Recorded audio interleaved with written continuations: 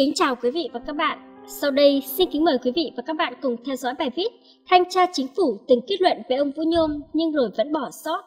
Bài viết được đăng trên trang tri thức trẻ.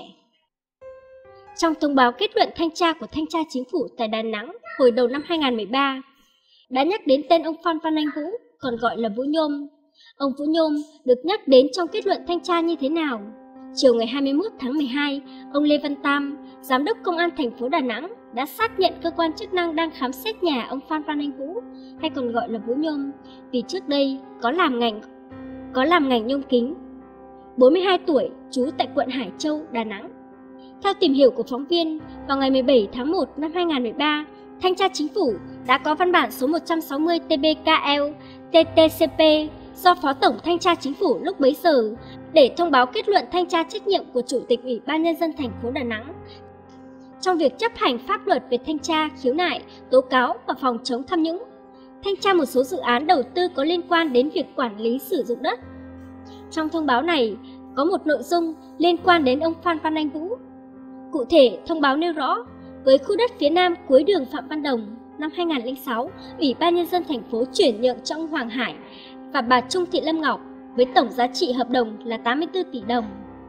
Đến năm 2008, ông Hải và bà Ngọc không triển khai thực hiện dự án đã ủy quyền cho ông Phan Văn Anh Vũ chuyển nhượng cho ông Phạm Đăng Quang với giá chuyển nhượng là 581,526 tỷ đồng, thu chênh lệch hơn 495,374 tỷ đồng.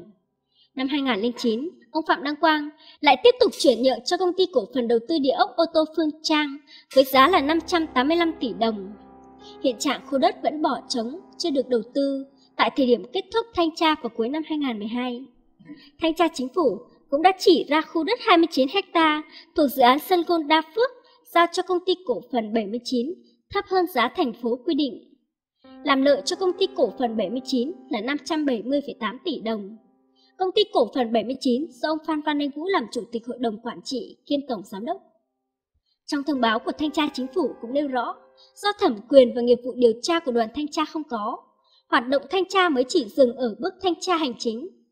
Vì vậy, một số hành vi cố ý làm trái pháp luật về đất đai và đầu tư xây dựng, vi phạm về xác định nghĩa vụ tài chính khi ký hợp đồng chuyển nhượng quyền sử dụng đất, hành vi bán đất của người nhận chuyển nhượng thu lợi lớn, gây thiệt hại cho nhà nước của các trường hợp cần phải được xác minh, làm rõ để xử lý. Đà Nẵng phản hồi.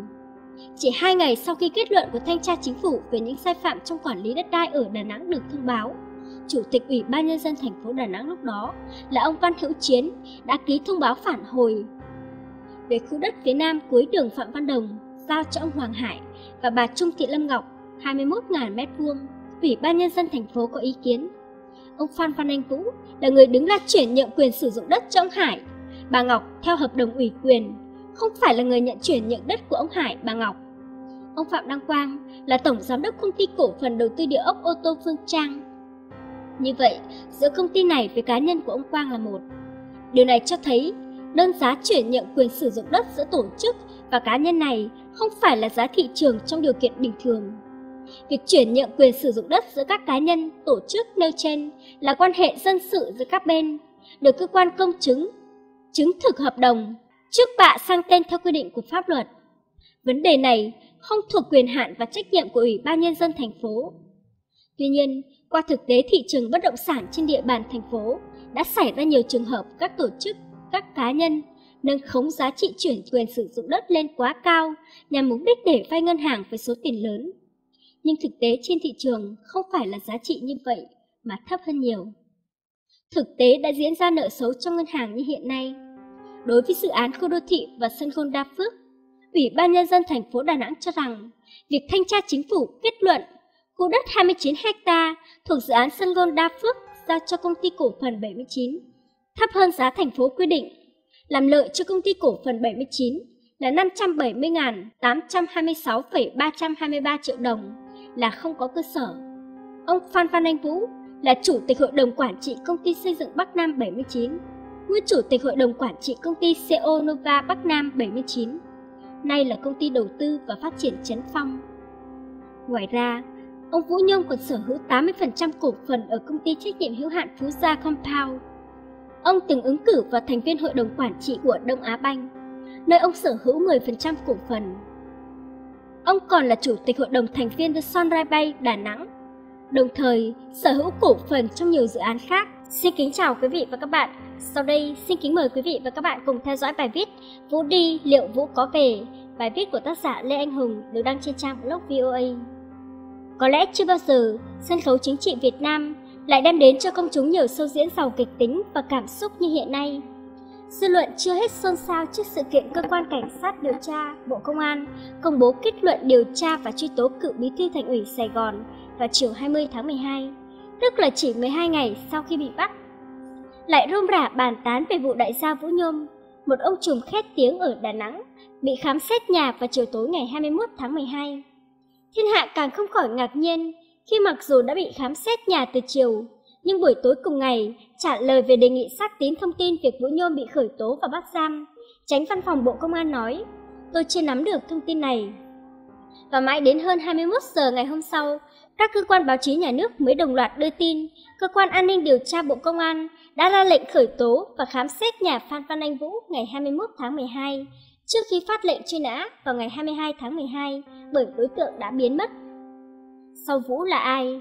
Mặc dù đã trở thành ông trùm quyền lực ngầm tại Đà Nẵng từ lâu, nhưng cũng phải đến tháng 4 năm 2017, cái tên Vũ Nhôm mới thực sự được công chúng Việt Nam chú ý.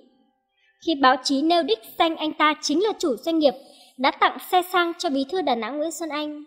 Cuộc chiến giữa hai phe nhóm quyền lực chính tại Đà Nẵng là bí thư thành ủy Nguyễn Xuân Anh và chủ tịch ủy ban nhân dân Huỳnh Đức Thơ lúc bấy giờ đang đến hồi quyết liệt. Trong đó, Vũ Nhôm được cho là thuộc phe Nguyễn Xuân Anh. Gần đây, thiên hạ tá hỏa khi có tin Vũ Nhôm hóa ra là một ông sĩ quan công an. Chẳng phải ai khác mà chính tân bí thư Đà Nẵng Trương Quang Nghĩa trong cuộc gặp mặt các cán bộ quân đội cấp tướng nghỉ hưu trên địa bàn Đà Nẵng ngày 21 tháng 12 đã nói toạc móng heo ra rằng Vũ Nhôm là một thượng tá công an. Năm 2013, cái tên Phan Văn Anh Vũ từng được nhắc đến trong kết luận của thanh tra chính phủ liên quan đến việc quản lý sử dụng đất của thành phố Đà Nẵng. Nhưng lúc ấy, Bộ trưởng Bộ Công an Trần Đại Quang, nhân vật được cho là đứng sau lưng Vũ Nhôm, đã là một quyền lực hàng đầu của Việt Nam nên không ai làm gì được. Mãi đến cuối tháng 9, sau khi ngài cựu Bộ trưởng Bộ Công an thất thế do dính vào vụ Trịnh Xuân Thanh, ông Trùng Vũ Nhôm mới chính thức bị lên thớt và tuổi trẻ là tờ báo chính thống đầu tiên khai mào cuộc tấn công nhắm vào dòng lợi ích Vũ Nhôm bằng bài khuất tất trong bán hàng loạt nhà đất công tại Đà Nẵng. Kết cục khó tránh, nhà báo Hoàng Hải Vân, cựu tổng thư ký báo Thanh niên từng nhận xét, ông Nguyễn Xuân Anh và ông Huỳnh Đức Thơ suy cho cùng cũng là nạn nhân của một khối ung nhọt lưu cữu từ thời ông Nguyễn Bá Thanh làm chủ tịch. Nhắc đến ông Nguyễn Bá Thanh, có thể là chuyện nhạy cảm vì ông ấy đã qua đời, nhưng nếu né tránh những di hại mà ông ấy đã để lại cho Đà Nẵng, thì những vấn đề cốt lõi của Đà Nẵng sẽ không bao giờ được xử lý đến nơi đến chốn.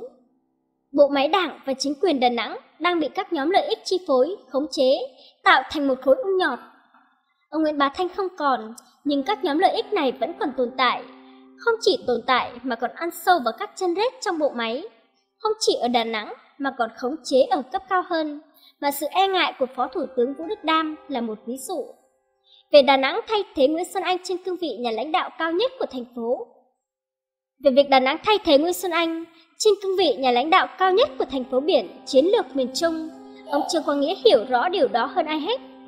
Nghĩa là nếu không chế ngự được ông trùm quyền lực ngầm Vũ Nhôm, chính ngài bí thư thành ủy sẽ bị vô hiệu hóa hoặc tệ hơn nữa là bị nhấn chìm. Trong bối cảnh ấy, Vũ Nhôm bỗng trở thành đối tượng mà nhiều thế lực buộc phải triệt hạ. Ngoài bí thư Trương Quang Nghĩa với lý do nêu trên, thì chủ tịch Huỳnh Đức Thơ lại chính là đối thủ mà anh ta gây thù trước oán suốt mấy năm qua. Dĩ nhiên, hai nhân vật này hoàn toàn không đơn độc, bởi họ có các thế lực hậu thuẫn ở Trung ương. Đặc biệt, Vũ nhung có thể được coi là đại diện của nhóm lợi ích công an, một thành trì quyền lực mà Tổng bí thư Nguyễn Phú Trọng nếu muốn đẩy mạnh chiến dịch đốt lò để nuôi hy vọng bám trụ trên ngôi vị số 1, ít nhất là cho đến hết nhiệm kỳ thì buộc phải công phá. Sự kiện Thanh về đã để lại một vết nhơ không biết bao giờ mới phai mờ trong lịch sử ngoại giao Việt Nam chưa kể những hệ lụy lâu dài khác cho đất nước. Trong khi đó, những diễn biến bất ngờ dồn dập trên chính trường thời gian gần đây báo hiệu từ nay đến hội nghị Trung ương 7 sẽ còn nhiều biến cố khó lường, nhất là khi dư luận tin rằng Vũ Nhôm có thể nắm trong tay những thông tin nhạy cảm.